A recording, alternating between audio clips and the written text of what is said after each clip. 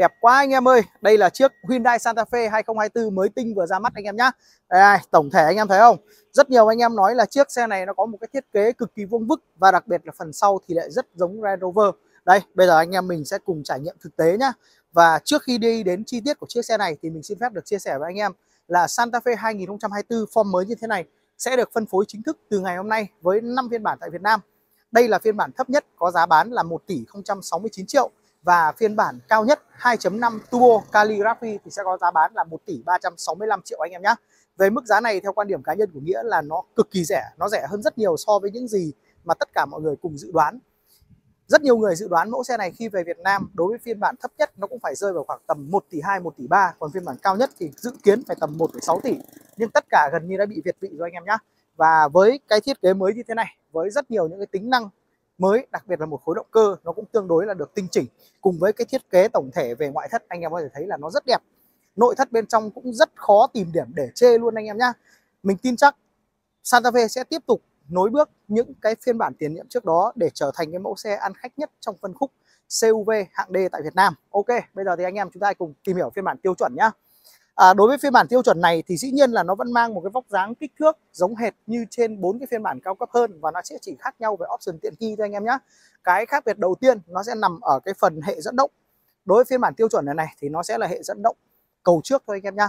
Còn với những phiên bản cao cấp hơn thì chắc chắn là nó sẽ có những cái hệ dẫn động hai cầu toàn thời gian phù hợp với cái nhu cầu sử dụng của anh em.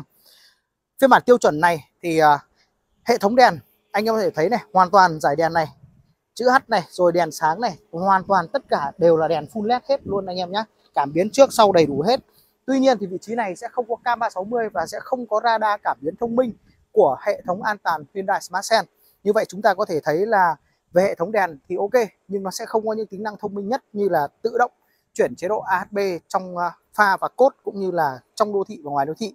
Đồng thời là xe sẽ không được trang bị cam 360 cũng sẽ không có luôn cả hệ thống Hyundai Smart Sense vì đây là phiên bản tiêu chuẩn lui một chút ra phần bên hông xe thì anh em có thể thấy là bộ la răng này sẽ có kích thước là 18 inch thôi anh em nhé nhưng mà mình nghĩ là nó sẽ tương đồng như trên những cái phiên bản cao cấp hơn. Nó sẽ chỉ khác nhau về kích thước thôi anh em ạ. À, lốp thì uh, sẽ là một thương hiệu lốp mới anh em nhé nhưng mà lốp này lốp sport mình tin chắc là di chuyển cũng tương đối là ok đấy. Ở bên hông này anh em có nút bấm mở cửa thông minh này gương chỉnh điện gập điện đầy đủ hết. Dĩ nhiên là sẽ không có camera 60 và không có cảnh báo điểm mù anh em nhé và cái phần mà mình nghĩ là rất nhiều anh em quan tâm ở chiếc Santa Fe này, cũng như là rất nhiều hình ảnh đã lộ ra trước đấy đấy chính là cái phần thiết kế đuôi xe anh em ạ. Mình cũng không biết phải nói thế nào về cái phần đuôi này nữa. Anh em thấy thế nào quan điểm cá nhân của anh em này anh em thấy cái phần đuôi xe Santa Fe này như thế nào? Đây, một cái dòng chữ rất to Santa Fe này. Toàn bộ cụm đèn này thì đẩy rất sâu ở đây, to bản. Và có cái thiết kế vuông vức rất là giống như trên những cái mẫu xe Range Rover ở anh em thấy không?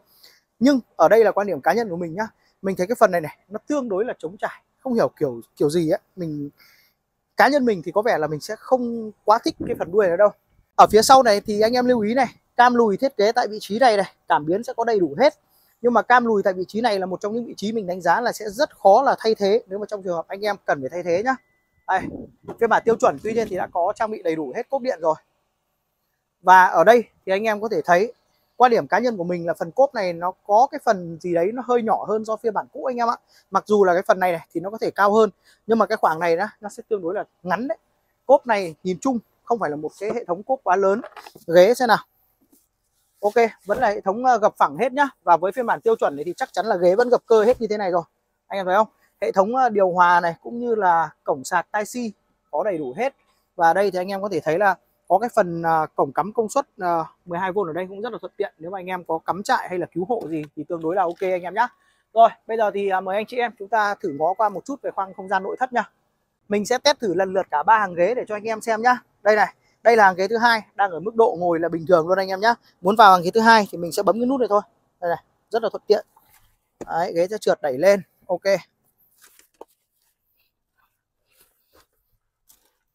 Tình hình khả năng cao là cũng ờ, chưa có nhiều sự cải thiện quá anh em ạ. Đặc biệt là phần khoảng để chân này này, nó vẫn tương đối là lấn cấn một chút. Nếu mà anh em muốn ngồi thoải mái hơn thì bắt buộc phải đẩy lui cái hàng ghế thứ hai này lên trên. Còn lại thì mình thấy có cái điểm rất đáng hay, đáng khen ở cái phiên bản mới này là cái phần cửa sổ này này. Nó to hơn rất nhiều cái phiên bản cũ và nó rất là thoáng. Trần này cũng rất là thoáng luôn anh em nhé không bao giờ sợ lo kịch nữa. Đây, khoảng này nữa cũng rất là thoáng. Nhìn chung khoảng để chân thì vẫn chưa được như kỳ vọng lắm, tuy nhiên thì cái khoảng không gian cảm nhận được là tương đối tốt nha anh em. Còn đây là hàng ghế thứ hai anh em nhé hàng ghế này thì nói chung là ngồi thì cực kỳ rộng rãi, thoải mái. Ở đây này, có cái phần cửa gió điều hòa này, thiết kế kiểu rất là sang trọng, đúng kiểu tính chất xe sang. Hàng hai thì không có gì để phàn nàn rồi, bây giờ thì chúng ta lên cái khu vực chính trên kia nhé với phiên bản tiêu chuẩn này thì anh em nhà mình sẽ có là cái ghế lái chỉnh điện, nhưng mà sẽ không có nhớ ghế, còn ghế phụ thì chỉnh cơ anh em nhé đây là khu vực cầm lái nó sẽ có tương đối nhiều sự thay đổi. Đầu tiên anh em có thể thấy này là về cái phần vô lăng. Thấy không? nó thiết kế khác hoàn toàn so với phiên bản cũ nút bấm các thứ đầy đủ hết này nhưng toàn bộ cụm túi khí cũng như là còi toàn bộ khu vực này này nó cực kỳ giống những cái mẫu xe của Anh Quốc. Phía sau này nhá mình sẽ có một hệ thống màn hình. Anh em nhìn thì tưởng là màn hình ngon 12,3 inch đúng không? Không phải đâu anh em ạ chỗ này hiển thị này nó chỉ có 4, mấy inch thôi vì đây nó là phiên bản tiêu chuẩn anh em nhá.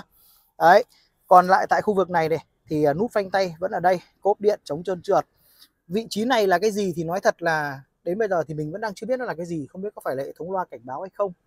Ok bây giờ thì à, anh em chúng ta ngó qua một chút về cái khoang không gian giải trí bên này nhá. Ở cái khu vực này thì à, có lẽ là cái điểm mà mình đánh giá cao nhất ý, là toàn bộ cái giải này. Theo ý kiến cá nhân của mình nhá là nó rất ok. Thứ nhất là cái bệ tì tay này nó cực kỳ là vừa và thoải mái với cái tầm sử dụng của mình. Cái khoang để đồ dưới này nhá nó cũng rộng mênh mông luôn anh em. Nếu mà nó có cái tủ lạnh ở đây thì tuyệt vời quá nha khu vực để cốc này đây là cái điểm mình thích nhất trên tất cả các mẫu xe ô tô. Anh em biết là gì không? Là cái khu vực để điện thoại nó rất là quan trọng. Đồng thời ở đây nhá nó có cả sạc không dây này. Rất tuyệt vời. Cổng tai si có đầy đủ hết rồi. Đó, ok chưa? Toàn bộ hệ thống điều hòa này nhá rất đẹp. Hệ thống điều hòa hai vùng độc lập. Những cái này này tất cả đều là nút cảm ứng hết. Ok chưa? Đây là chỉnh nhiệt độ. Đấy. Các chế độ lái đầy đủ hết. Nó sẽ có bốn chế độ lái Eco, Normal, Sport và My Driver tùy chỉnh đây là khu vực màn hình giải trí nha anh em. Màn hình giải trí này sẽ là 12,3 inch.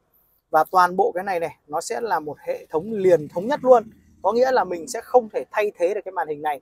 Và nếu anh em muốn giải trí thì bắt buộc chúng ta sẽ sử dụng Android Box hoặc là sẽ trình chiếu cái điện thoại kết nối Android 2 hoặc Apple CarPlay lên đây.